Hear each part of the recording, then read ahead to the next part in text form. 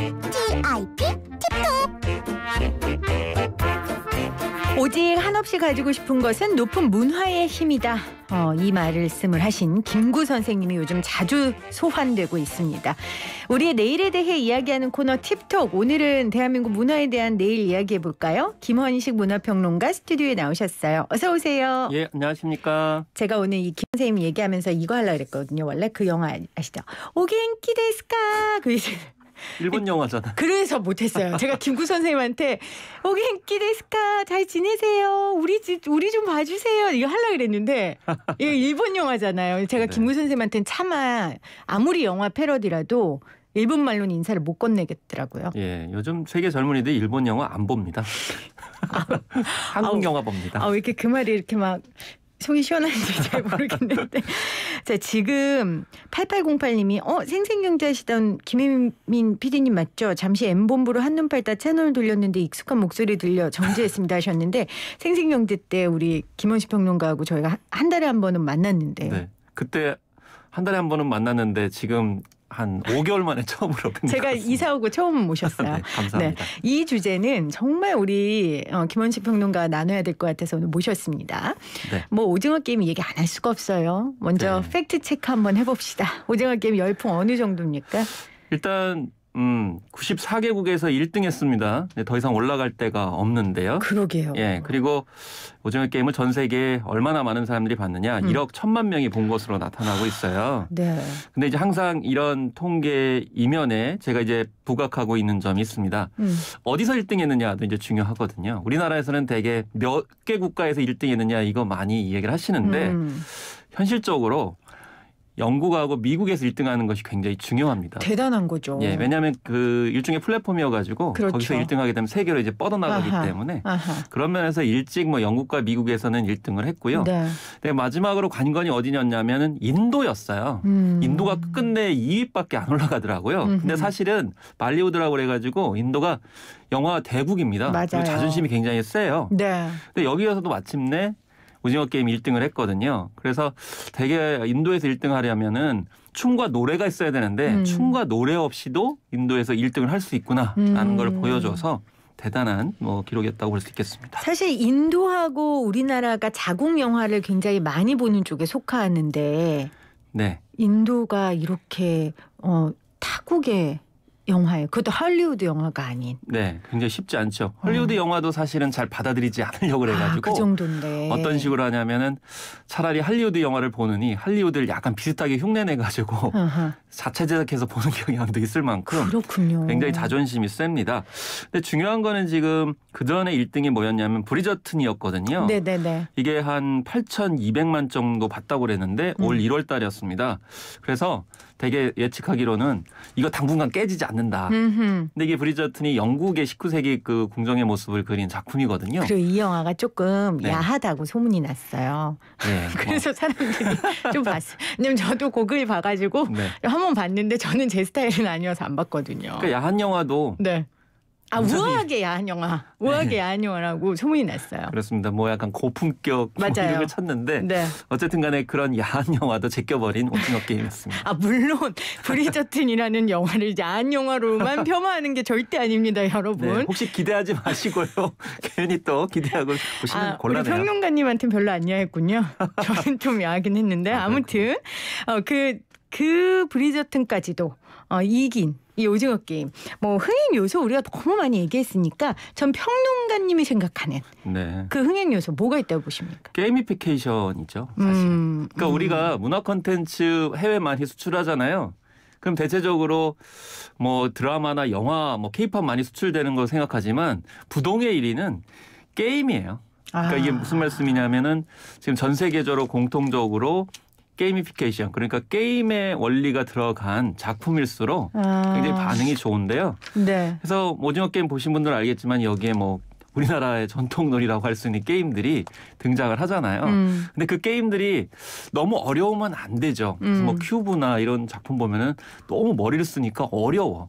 그런데 이제 우리 오징어 게임 같은 경우에는 무궁화꽃이 피었습니다부터 해가지고 구슬치기, 막 네. 딱지치기, 네. 줄다리기 뭐 이렇게 나오니까 놀이 중에서도 굉장히 이해하기 쉬운 음. 그런 이제 놀이들이 이야기를 끌고 가기 때문에 몰입을 안 할 수밖에 없다. 그리고 돈 얘기를 직접적으로 한다는 거죠. 음. 456억을 두고 벌이는 생존 게임이라는 것이 결과적으로 어, 세계적으로 어필했다고 생각합니다. 그러니까 우리 모두가 공감할 수 있는 주제를 우리 모두가 알 수 있는 쉬운 게임으로 잘 표현을 해낸 네. 그런 영화였다. 그러니까 사실은 이제 더 구체로 들어가면 대부분 얘기를 안 하는데 키덜트 요소가 있어요. 이 아하. 게임이라 하더라도 이게 어린 시절에 하는 거거든요. 맞아요. 그러니까 어린 아이부터 노년에 이르기까지 모두 다 공감할 수 있죠. 음, 오징어 게임에서 음. 그 오일남 씨라고 하는 캐릭터가 그렇게 나이가 들었음에도 불구하고 그 어린 시절에 했던 게임을 잊지 못하잖아요. 네네. 그래서 원래 대중문화에서 드라마도 그렇지만은 대박을 터트리기 위해서는 어린 아이와 어르신이 할머니와 함께. 손자가 같이 볼 수 있는 내용이면 음. 하는데 이것이 네. 이제 글로벌하게 퍼진 네. 거죠. 물론 이제 이 드라마는 아이들은 볼 수 없는데 근데 오늘 아까 방금 전에 저희 다, 아이 첫째 담임 선생님한테 문자가 왔어요. 어, 저한테만 보낸 건 아니고 가정통신문인데 요즘 아이들이 무궁화 게- 꽃이 피었습니다를 하면서 손가락으로 총 모양을 하면서 쏜다는 거예요. 네. 아, 근데 또 그걸 보니까 엄마 입장으로서 음. 굉장히 마음 아팠는데 이게 또 하나의 특이한 거예요. 그냥 컨텐츠만 보는 게 아니라 이게 지금 대한민국뿐만 아니라 전 세계적으로 이걸 문화화해서 음. 체험하고 있잖아요. 근데 아까 총 모양 말씀하셨잖아요. 네. 이게 문화적 배경을 좀 우리가 이해를 해야 되는데 네. 주로 이제 영미권에서 이 어, 이제 오징어 게임을 아이들이 하는 걸 금지하고 있습니다. 음. 지금 헬로윈 데이가 또 있기 때문에요. 맞아요. 근데 미국하고 우리하고 다른 게 뭐냐면은 미국 특히 뉴욕 같은 경우는 총을 직접 쏠 수가 그렇죠. 있어요. 총기 자유화가 돼 있죠. 총기가 이제 있기 때문에 네. 그런 점에서 좀 주의를 하- 강력하게 하는 것이고요. 음. 다만 여기서 이제 주의해야 될 게 뭐냐면 어린 아이들이 굉장히 성숙하지 못해서 음. 이런 드라마의 영향을 받아서 정말 범죄, 폭력 이런 거를 저지를 수 있다라고 주의는 해야 되겠지만 너무 음. 전적으로 아이들의 자율성을 음. 좀 박탈하는 음. 거는 음. 적절하지 않다. 그리고 그러니까 아이들이 손가락 모양으로 총을 쏘는 게 우리가 보는 것처럼 섬뜩한 그런 게 아니라 그 아이들이 이제 그 안에서 자기들 방식으로 노는 건데 우리가 너무 그렇게 예민하게는 반응하지 말자는 말씀이시죠? 그렇죠. 그래서 게임과 드라마의 상황을 좀 분리해 가지고 음. 게임만 지금 즐기는 건데 그걸 맞아요. 너무 확대 해석하거나 너무 부담을 주면 네. 오히려 오히려 더 궁금해할 것 같아요. 맞아요. 수 있기 때문에 그렇기는 해요. 그래서 주, 자, 어, 어떤 상황이 좀 다르고 음, 그걸 음. 분별해 가지고 아이들한테 이 얘기를 해주는 것이 필요하고요. 저는 반가웠던 게 뭐냐면 무궁화 꽃이 피었습니다를 모르는 젊은 친구들이 굉장히 많아요. 그래요? 예. 음. 깜짝 놀랐어요. 오. 생각을 해보니까 이게 환경적인 요인인데 뭐 오징어 게임도 마찬가지고요. 오징어 게임이 특히 그렇죠. 아. 오징어 게임을 하려면은 흙이 운동장이 있어야 있어야 돼. 돼. 맞아요. 흙이 없어요. 요즘 운동장 네. 다 풀이에요. 심지어. 담벼락조차도 잘 없어 이렇게 모, 모여가지고 할 수 있는 공간조차도 맞아요. 없고 그러다 보니까 알 수가 없군요, 애들이. 그걸 하- 하지를 못하니까 특히 뭐, 뭐 우레탄을 포함을 해가지고 잔디구작을 만든다거나 이러니까 아예 흙을 접할 수가 음흠. 없어서 흙을 가지고 이렇게 여러 가지 놀이를 하잖아요. 네. 그게 없다 보니까 오히려 국내에서도 이제 많은 젊은 층들이 주목을 하지 않았나. 음. 그래서 놀이로서만 좀 받아들이자. 그런 네. 지도는 필요하겠죠. 맞아요. 저도 언론인으로서는 그렇게 얘기하는데 그게 엄마로서는 그게 또잘안 되더라고요. 막 섬뜩섬뜩해요. 네. 어, 오징어 게임뿐만 아니라 사실 넷플릭스에서 이 K 콘텐츠가 많은 반향을 일으켰잖아요. 그리고 네. 넷플릭스에서 굉장히 제작 지원을 전폭적으로 하고요. 왜 그럴까요? 일단은 넷플릭스를 좀 이해할 필요성이 있습니다. 네. 넷플릭스는 원래 비디오 대여점으로 시작을 했거든요. 그러다 보니까 아시다시피 대여점이라는 건 자기 스스로 콘텐츠를 만들지를 못하는 것이죠. 음. 그런 와중에 이 사실은 많은 콘텐츠를 아, 디즈니에서 대여를 받았었거든요. 근데 디즈니가 넷플릭스가 크는 걸 보고 자기도 OTT를 만들어. 어, 나 컨텐츠 너희들한테 안 주겠다. 음. 이렇게 얘기하니까, 어, 이거 우리가 그러면 안 되겠다. 그래서 직접적으로 만들기 시작을 했는데, 음흠. 근데 넷플릭스의 유효적절한 전략은 뭐냐면은 자기가 모든 걸 다 만드는 게 아니고 각 로컬화 하는 거죠. 예를 들면 아시아 지역 같은 경우에는 이제 한국에 음흠. 전폭적으로 지원을 해주는 건데 이게 왜 중요하냐면 할리우드는 너무 표준화된 그런 컨텐츠를 만들기 때문에 각 지역으로 가면 공감할 수 없는 음흠. 내용들이 상당히 많아요. 네. 그러니까 예를 들면 액션물이면은 뭐 액션물의 어떤 기본 공식만 이렇게 하기 때문에 어 굉장히 흥행하는 데 있어서 한계가 있는데 각 지역별로 이렇게 특성을 감안해 가지고 만들도록 해주니까 오히려 더 잘 만들 수 있는 요소가 있고 음. 그 가운데 이제 오징어 게임 성공을 했는데 사실 뭐 오징어 게임만 성공한 건 아니에요. 앞서서 뭐 킹덤도 있었고 그 다음에 크리처물이라고 할 수 있는 스위트홈 그리고 DP라고 하는 수사물도 인기를 끄는 등 어쨌든 넷플릭스의 전략은 성공하고 있습니다. 음, 음. 그 넷플릭스의 전략 로컬화, 아, 완전한 로컬화를 이루기 위해서는 그 현지에 있는 스탭들에게 100% 권한을 줘야 되잖아요. 이제 그 넷플릭스 전략이 두 가지인데요. 첫 번째는 제작비를 한 10% 내에서 20% 현지보다 더 많이 준다. 음흠. 이런 것이에요. 음흠. 근데 사실 우리나라 같은 경우 비교를 해보면 우리나라에서는 오히려 제작비를 먼저 주지 않거든요. 네. 그러다 보니까 제작비를 제작사가 벌어야 되니까 이제 PPL 문제라든지 음. 뭐 여러 가지 이제 잡음이 일으키게 되는 것인데 먼저 제작비를 주니까 제작진 입장에서 봤을 때는 굉장히 안정적으로 작품을 그렇죠. 만들 수 있고요. 책임 감도 더 생기고 네. 사실. 그리고 두 번째는 소재 제한을 두지 않는다는 것이고요. 음. 에, 그리고 우리나라 같은 경우는 사실 이제 공영 방송이라든지 방통위 심의 같은 어떤 제도들이 있기 때문에 그렇죠. 자율성이 좀 떨어집니다. 음. 그런데 이 온라인을 통해서 공개하는 프로그램 어, 드라마 콘텐츠이다 보니까 음. 좀 제한이 적죠. 그러다 네. 보니까 아까 말씀하신 것처럼 이제 잔인한 장면이 있을 수 있기 때문에 교육적으로 좀 주의해야 될 편- 점도 있지만은 창작 관점에서 봤을 때는 굉장히 좋은 음. 그런 환경이 조성이 돼서 이렇게 연이어서 반응을 보이고 있다고 음. 생각합니다.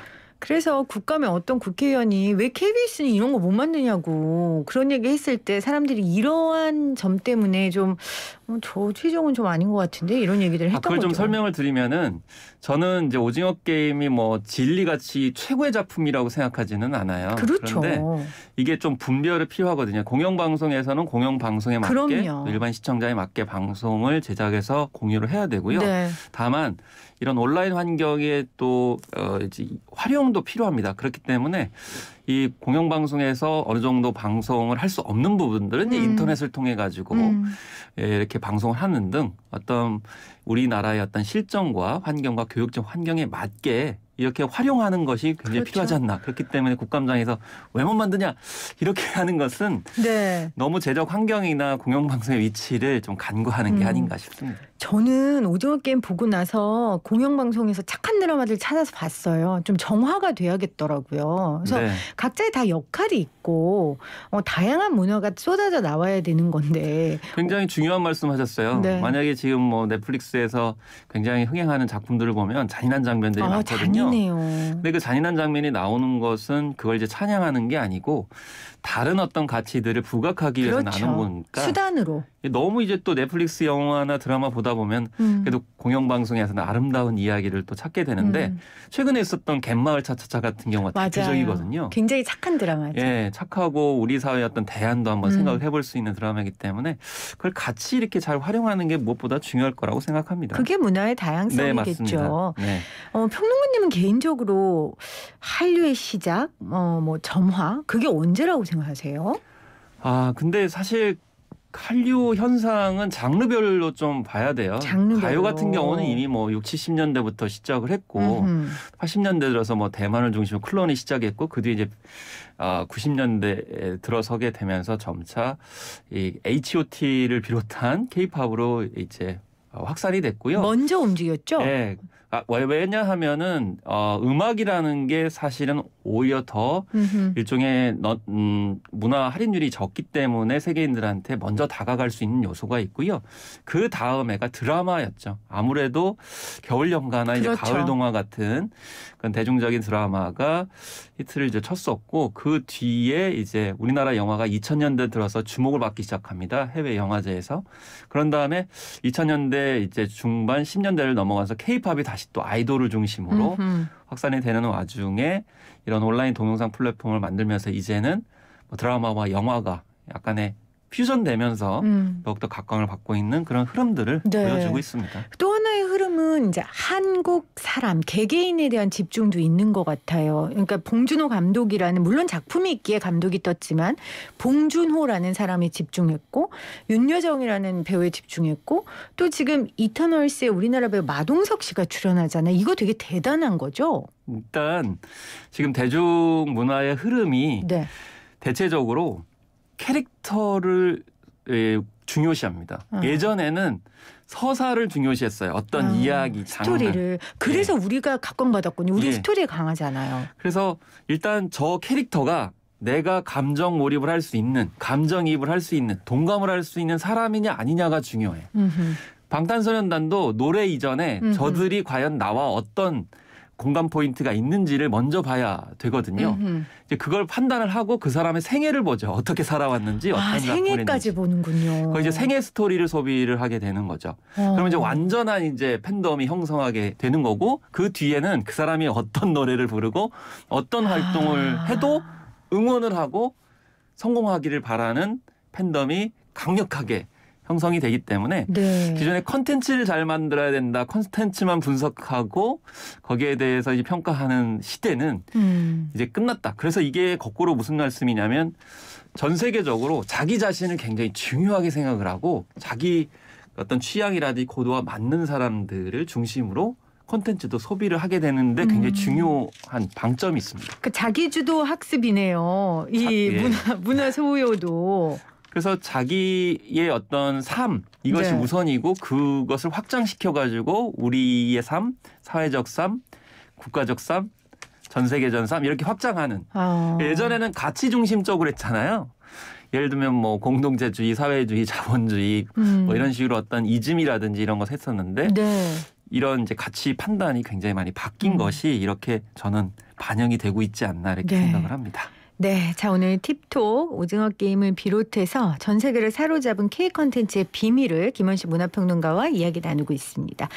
어, 조금 전 유은혜 교육부 장관이 교육 분야 단계적 일상 회복 추진 방안을 발표했는데요. 좀 관련 내용 전해드릴게요. 먼저 전국의 모든 유초 중고 학교는 다음 달 1일부터 3주간의 학교 준비 기간을 갖고요. 대학 수학 능력 시험 이후인 다음 달 22일부터 전면 등교를 실시합니다. 또 대학은 다음 달 1일부터 대면 수업을 확대하는데요. 다만 대면 수업 운영 원칙은 내년 1학기부터 본격 시행한다고 말했습니다. 자세한 소식은 이어지는 뉴스에서 전해드리도록 하겠습니다. 자, 평론가님, 음, 오늘 우리 K 컨텐츠에 대한 이야기 나누고 있는데, 킹덤, 그리고 뭐 기생충, 오징어 게임, 이 세 개의 공통점이 저는, 음, 현실에 대한 저항 정신? 푸, 그냥 묘사만이 아니라, 어, 그런 거라고 생각하는데, 혹시 평론가님은 뭐 또 다른 이유 있으세요? 저는 그냥 어렵게 얘기할게요. 보편성과 개별성의 결합이라고 생각을 하거든요. 보편성과 그러니까 개별성의 사실 이제 결합. 오징어 게임도 마찬가지인데, 그러니까 세계인들이 관심 있는 게 뭐냐 음, 여기에 이제 일단 초점을 맞춰야 됩니다. 음흠. 그러니까 예를 들면 케이팝도 사실 전 세계 젊은이들 즐기는 힙합의 바탕을 두고 했기 때문에 일단 관심을 끌죠. 그다음에 킹덤은 예 좀비물입니다. 음흠. 그런데 한국적으로 음흠. 조선시대를 배경으로 해서 색다르게 접근했기 굉장히 때문이고 개별적인 거잖아요. 예. 그리고 기생충 같은 경우도 전 세계적으로 불평등 현상 음흠. 이런 것들이 굉장히 많은데 그 우리나라 현실을 접목해가지고 어떻게 대중적으로 전달할 거냐라고 했을 탁월을 했고요. 오징어 게임 우리한테는 굉장히 낯설지만 해외에서는 생존 게임이 굉장히 익숙하거든요. 예능도 많잖아요. 예, 예능도 굉장히 많습니다. 생존 게임 자체를 예능으로까지 즐기는 상황인데 음. 그런 사람들이 보편적으로 관심 있는 장르에다가 우리말의 색다른 아이디어나 또 테크니컬한 기술 또 어, 다잘 다른 나라에서 특히 할리우드에 잘 다루지 않는 감성, 음. 감정, 음. 흔히 이제 심파라고 하는데 음.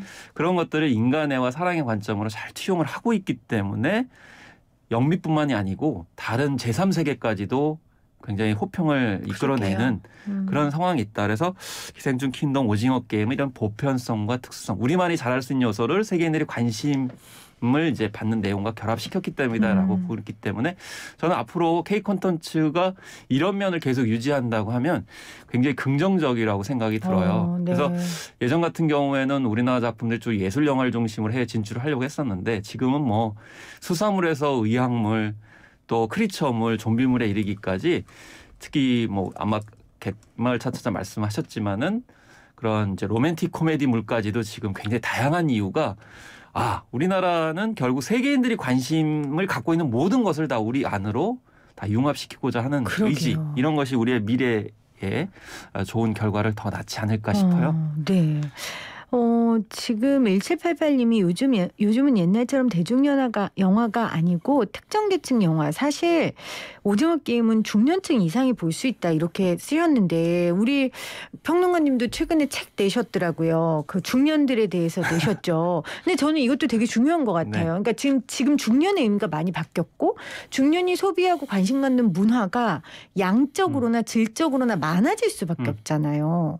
그러다 보니까 이제 mainstream이 될 수 있는 거고. 저는 사실 중년이라는 단어를 쓰지 않아요. 음. 그래서 제 책도 뭐 1970년대생들이 네.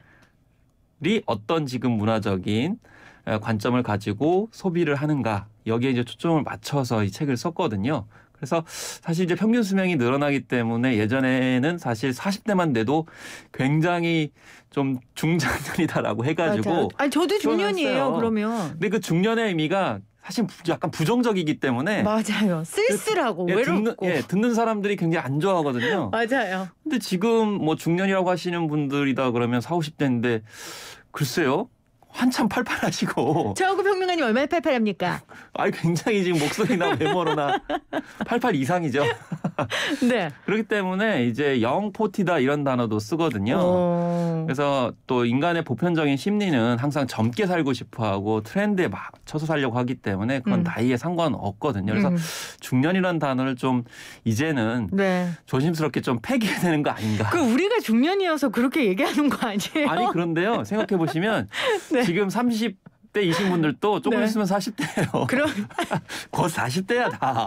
아니 우리 인터뷰 마무리해야 되는데 지금 K 컨텐츠에서 중년이란 단어를 폐지 폐지하자고요? 왜냐하면은요. 사실은 지금의 이 중장년 세대라고 네. 하는 4, 50대가 K 콘텐츠의 본질을 만들었어요. 그러니까 90년대 맞아요, 맞습니다. 에서 2000 년대 X 세대들이잖아요. 그쵸. 음. X세대가 어떤 정치적 담론을 넘어서서 음. 다양한 어떤 문화적 음. 현상에 관심을 가졌고 음. 또 그런 자유로운 소비와 창작 여건 때문에 K 콘텐츠가 세계로 진출했다고 보거든요. 그래서 맞습니다. 우리나라의 강점은 결국에는 민주주의와 문화 다양성의 결합을 그렇죠. 하는 것이다. 맞습니다. 아시아만 봐도 이렇게 문화적 다양성을 추구할 수 있는 나라가 없죠. 없어요. 그 이렇게 역동적인 데가 네. 없죠. 그러니까 정치적으로 역동적이다 보니 문화도 그렇죠. 같이 역동적인 정치적. 역동성과 문화적 다양성 같이 맞아요. 가기 때문에 맞아요. 저희는 이걸 계속 지키면은 아마 세계에서 미래에 우리나라가 계속 활약할 네. 거라고 저는 생각합니다. 오늘 정말 깊이 있는 인터뷰였는데 저, 저는 일단 중년이란 말을 폐쇄하자는 것만 가슴, 세대 문화예요, 세대 문화. 세대 문화. 가슴에 남기고 네, 자 어, 중년 초입에 들어선 김혜민 PD와 중년 한 중간에서 3분의 2 정도 가신 김원식 문화 평론가와 함께 하겠습니다. 이야기 나눴습니다. 고맙습니다. 예, 감사합니다.